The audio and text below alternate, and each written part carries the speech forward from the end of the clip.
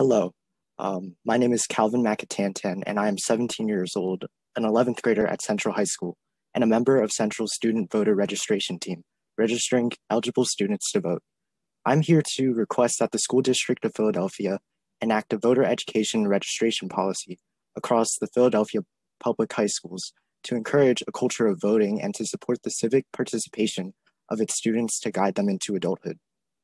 At Central, our voter registration team has gotten much success in registering eligible students to vote, even with the difficulties of virtual education.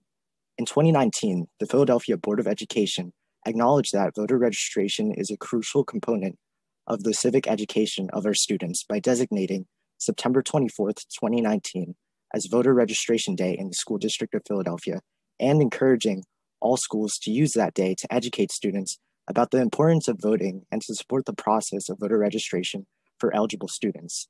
But now, approximately 8,000 students in Philadelphia high schools become eligible to vote each year.